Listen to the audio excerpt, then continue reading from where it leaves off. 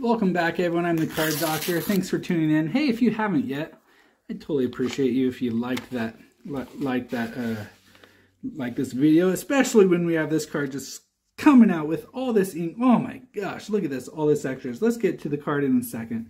Man, so excited. There's so much, so much going on here in this envelope. I don't even know where to start. Guys, I was going to say, like and subscribe. I can't even talk. Like, subscribe if you're not and like this video, we have Ken Aspromonte. There's one index card. And, he, oh man, he signed some more. Here's another one. Oh, and look what he included. Check this out. Ken Aspromonte is a manager.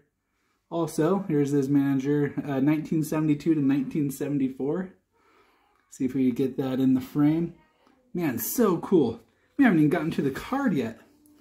Guys, he was a second baseman for the Senators. This is a 58 Topps. Played from 1957 to 1963.